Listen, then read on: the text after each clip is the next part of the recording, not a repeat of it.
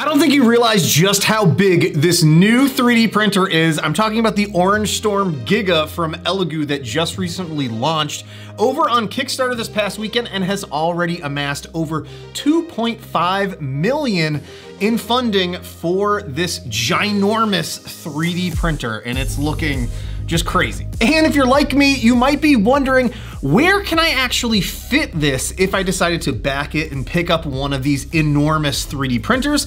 Well, that's what I'm here to help you with in today's video. I'm gonna be showing you some different methods of how you can actually spatially see this 3D printer in your house or garage or office and see exactly how it would fit in a number of different spaces that you might have. Now, obviously there's some really easy ways that you could go about doing this by using just a standard tape measure and measuring out your space and seeing how that would fit in that given area, or using some tape and applying that to the ground in a square shape that matches the printer to give you a nice visual. But I figure we could take this a step further by going in and I went off and 3D modeled the Giga to scale over in Shapr3D so that I could have a visual 3D reference to use and share with you all that we can play around with in augmented reality as well as using the Meta Quest 3 in mixed reality. So over here by my filament wall in this pillar here that I have in the middle of the room is one of the key areas that I was thinking about placing this huge printer. And again, the build volume for this, for the actual printer, so I'm talking about the build volume, the print build volume is 800 by 800 by 1000 millimeters. That is a massive build volume, but what's even bigger is the actual print dimensions for this machine. And the actual dimensions for the machine are 1214 millimeters by 1050 millimeters by 1377 millimeters high. That is just a huge chunk of space that you're gonna need for this really big machine that's gonna be able to print some massively tall prints. So here, using Shapr3D, I'm gonna go directly in to the AR function of this. And there we go. It's, it's kind of inserted it into the wall so I can reposition it. And I believe I can, yeah, there we go. I can tilt it around here and then place it. It's like it's so much larger than what I was thinking here. It's just, this thing is just, it's huge. It's absolutely huge. But yeah, we can actually get in here and take a look at this in a lot of detail. What's really cool is about viewing it in the Shapr3D app is where you're gonna get the most possible detail from what I've modeled here. And again, this is just a basic representation of the overall shape. But here we can even see that there are the four build plates directly in this, where it looks like it's one massive, but it's actually four individual large build plates placed in here. And I even included a Benchy to scale so that you can actually see how a Benchy would look printed on this ridiculously large 3D printer. Now, maybe you don't have Shapr3D and you don't want to bother downloading and installing it, or you don't have an iPad or anything like that, but you probably have an Android phone or an iPhone, and this next way is gonna allow you to very easily do this without installing anything. It's by going directly to thangs.com where I have uploaded these files. You can then download those directly to your computer. Again, mess around with those if you'd like, but from the browser, they actually have an option to launch directly into augmented reality directly from your phone, again, allowing you to at scale see and position this around your space. Now, one thing that I will mention is for whatever reason on Thangs website, the, the model is not scaled correctly. You need to just pinch and zoom that up to about 150% scale is about the correct sizing that we're gonna be looking at for the printer in the space here. So as I'm getting further back, you'll see just how big this is as I'm trying to position it here in this little pillar space in this other area of my studio. Also, one thing that you'll notice as viewing it directly from the browser of your phone or your device versus uh, you, you, like downloading it yourself is it's not going to have all the coloring that uh, I built into that. So if you want to see that, you can actually download all the files. I've included on that Thangs listing the Android files to view this. If you download those and load them on your Android device, you'll get a better representation of it in the actual size, as well as the iOS AR functionality. And I also included the original files from Shapr3D if you wanted to go in there and make modifications directly to that, or if you just wanted to view the direct OBJ file, a 3D file of this object and play around with it. In other tools, you can do that as well. And before I run off and show you how you can view that in mixed reality using the Quest 3 headset, I want to say a huge thank you to Elegoo for sponsoring today's video.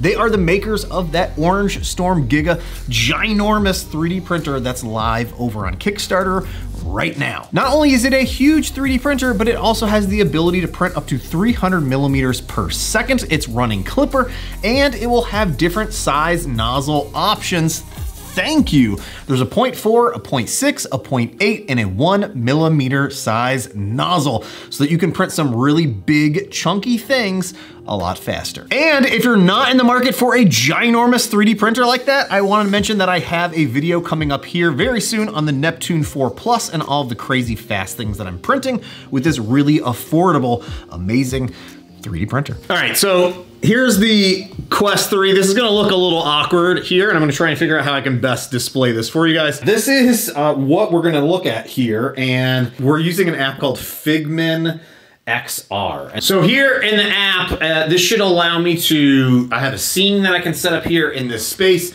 and what's allowing me to do is I've uploaded the model to Sketchfab, and I can then search, I found my model, and I can now bring it into the world here, and as you'll see, it's not quite the right scale, so I can scale this up to 100% the original size, just to get a real size of what this thing is gonna look like, which is just, again, huge. But I also need to come in here and let's turn on some of the options. Yeah, I wanna turn on physics for this. Let's turn on the physics for this. This is where things start to get really fun inside this app. So I can uh, make it really bouncy, not so bouncy since this is pretty big. I'm gonna minimize the amount of uh, bounciness there. I'm gonna come in here and come in and let's add a little sound effect to this as well. Yep, that's a good thud sound and I wanna allow us to hear that. So let's say it's something like 70%. So now I can move this around and thud it around. But here, is where I'm really starting to think I might want to put this. So as people will come in here into my, excuse me, everything's like under construction. Everything's under construction in here, by the way. So uh, as you come in, you'd see this massive 3D printer in here, and I can then position this how I need to position it here in the space, and then get an idea of how this is gonna look and interact in this whole area here. And if I add just enough space for this, can I get around this?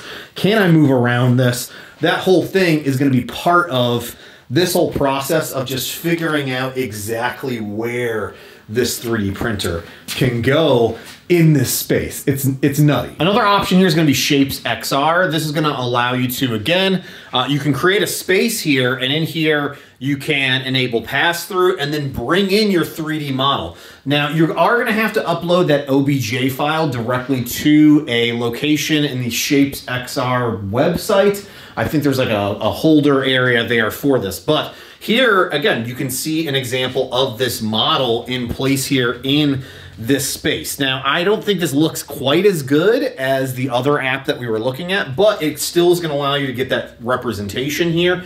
And I can click and move this around the space if I wanted to, or rearrange this here in the space or, or try and get it to sit better on the floor. As far as I know, there's no physics involved inside this app here. I, I, haven't really played around with it too much, but it's free for you to play around with this here versus the other one, which I think was like uh, Figmin XR is I think 20 bucks or something like that. But yeah, really cool to try out here if you have the Quest 3 headset, but not a requirement there. Just use your phone or your Android or whatever it is, tablet, to get an idea of how this thing will fit in a space here in, uh, in your location. It's a really cool thing. So hopefully this was somewhat helpful for some of you out there, giving you options of ways that you can view this ginormous 3D printer in your space to see exactly where it would fit, or just use some of these tools for other things like some of the 3D models that you're looking at printing and how you can project them in